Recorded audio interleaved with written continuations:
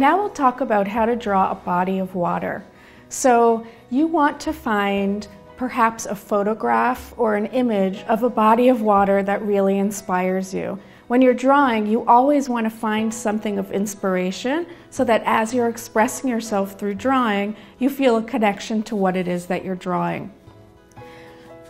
I'm going to start with colored pastels on paper. These are soft chalk pastels. They come in many different colors and they come in many different brands. So I'm going to basically break this drawing into three areas. The sand, the water,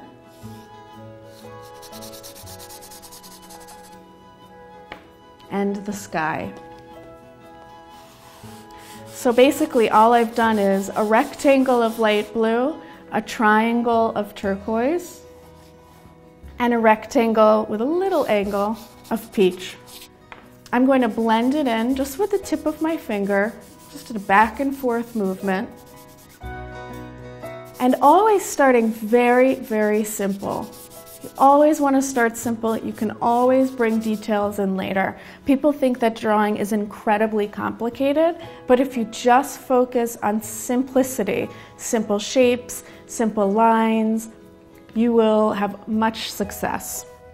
I'm going to move into the water and I love color. So I'm not necessarily going to use most traditional colors. I can use whatever colors I prefer.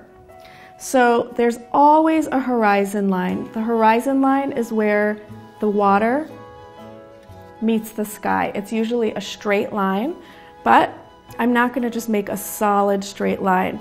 I'm going to almost connect little light dashes. And I'm going to bring in just touches. I'm using black.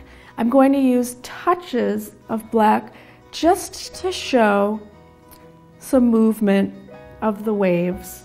And again, almost like little dashes. Now I'm using black just to bring in those dark tones. And then there's a dark color always when the ocean waves are crashing on shore.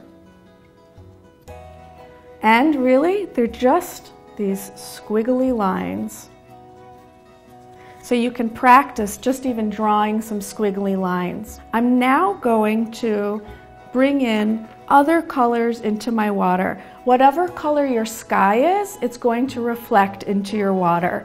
So although I put down a blue, I'm actually going to make the sky more of a hot pink. You want to use colors that you absolutely love, um, colors that allow you to have fun, colors that allow you to express that which you're drawing. So for me, I love the water, I love the ocean, I absolutely love sunsets. And when I think of a beach, I think of the beautiful pinks and oranges uh, of the sky. And so I'm going to use my creativity and bring some of those colors in. I'm going to make the top of the sky a little bit darker and I'm just going to add a touch of orange closer to that horizon line just to show that feeling of a sunset. As I'm adding the pastel, I'm typically not using the tip, I'm using the side of the pastel. This allows me to cover more surface area. It's also much more expressive. And then I can always shade it in. So I'm going to take that same color and now I'm going to add that same color into the ocean waves to show that sense of reflection. This time I'm using the tip and then sometimes using the side. It's always very, very excellent to experiment. Find your own method that works. There are no hard rules. The only rule is to do what works for you. So I always say, keep the best, leave the rest. So keep the tools that really work for you. And then if there are tools that are just not working for you, then don't use them. It's as easy as that. I'm coming back in with a white just to show, again, a little more motion in the water. some highlights.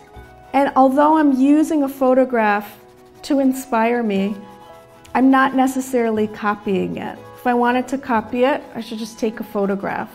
Drawing is the opportunity to really express yourself, to make something quite unique. I'm now going to move into the sand. And I'm really focusing on color. What types of colors are coming through the sand? Typically, sand is not just one color. There can be strips of color. There are shadows. There are lights. There are darks. So I'm really allowing myself to use my imagination. Maybe one of the purples in my hand, I decide that I want to add a little purple into the sky, or maybe even a touch of purple in the water.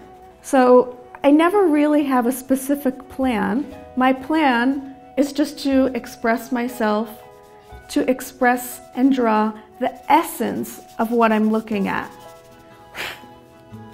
And I'm going to actually take that purple now and redefine the horizon line. Instead of with black, I'm going to use purple. And I'm actually going to bring more purple into the ocean just to show some of these waves crashing ashore. And again, all of the different lines I'm drawing tend to be, for lack of better words, little squiggles as I move up, I'm going to make lines, just very simple lines straight across. I'm going to add a little more sand here. And I'm going to combine a number of different peach tones. There are areas where the sand may be lighter, so I'm going to bring in some white. And by using the side of the pastel, just mix all of those colors together. I'm definitely having fun making a mess. And I'm not judging my drawing. So as I'm looking at it, I'm not saying, oh, this isn't good or oh, this should be better. I'm basically trusting that I'll continue working on it until I feel really good about it. So this would be my beginning stages. My next step would be to come back in and really work on the water much more. So we'll do that just a little bit just so you can get the idea. Again, its water is typically darker by the horizon line. So I'm just going to darken that up and I'm going to use a mix of a couple of colors, adding some blue, some purple, maybe I'll add a touch of black just to darken it up a bit. I'll come in and mix with my finger a darker horizon line or a darker area in the back will allow the water to look like it's moving back. And then uh, right above it, I'm going to lighten it. And that will really create a sense of depth. Now, if you want to be creative, you can use touches of different color. I could even just add touches of pink to show a sense of a sunset. There does not always have to be a reason other than the color you're using is very expressive, and that's what you want to do. As an artist, you have endless, endless possibilities. I'm now going to bring in, again, some lighter tones. Maybe I'll use some lighter blues. My next step is with white pastel. I'm just going to lighten up where the water hits the sand, just to show that the water is crashing on the sand and that that area of the sand is just a little wet. And as I'm drawing this, just even drawing this, I'm feeling relaxed. I feel like I'm on a mini vacation, just thinking about the waves hitting the sand. And that's really part of what drawing is all about. It really transports you to a very peaceful, relaxed state. Now, perhaps I would continue this drawing for another 20 minutes, 30 minutes. I could work on it for as long as I want or as little as I want. And I would just continue adding lots of little touches until I get to the point where I really feel that the drawing is saying exactly what I want it to say. So as you continue your drawing, make sure that you continue to express yourself, you continue to relax, and you continue to really enjoy your creative process.